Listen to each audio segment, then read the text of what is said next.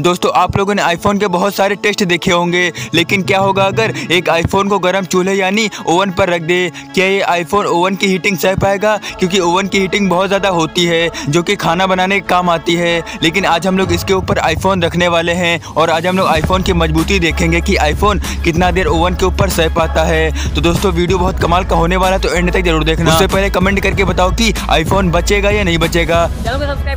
हाँ, जल्दी करो मुझे पता है कि आप लोग लाल कलर का बटन नहीं से दबाओ जल्दी दबाओ जल्दी दबाओ फिर मैं शुरू करूँ दबा दो जल्दी